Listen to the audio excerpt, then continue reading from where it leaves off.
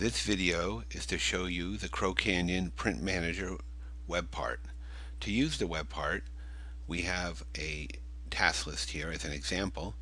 To use the web part, you go to List and then Print, and you'll see a printout of the items that are in the list. Here you have a printout right here. This can be sent to PDF and opened, and then you can see the list of tickets right here. It has a title and other information in the list of tickets.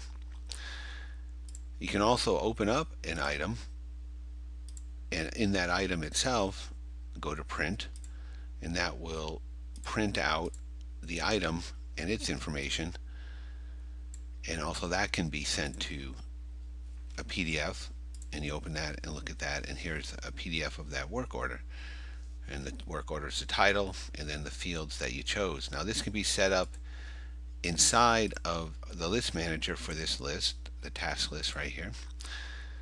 And in the list settings, there is a utility called Crow Canyon Print Settings.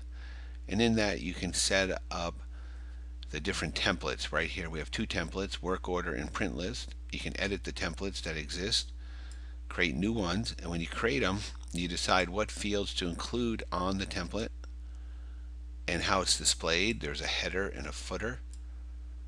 And uh, you can set up variations of how the PDF is going to print out. So if we edit, for instance, edit the uh, work order template, you can see that it says work order is the title of the template. These are the fields that are printed.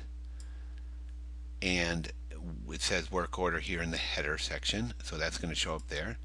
And the footer is blank. But we could use these various uh, values in the header or footer.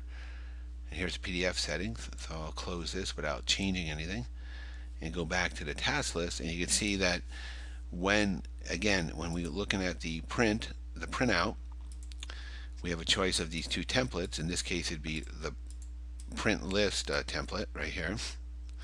And that would print out whatever fields we chose.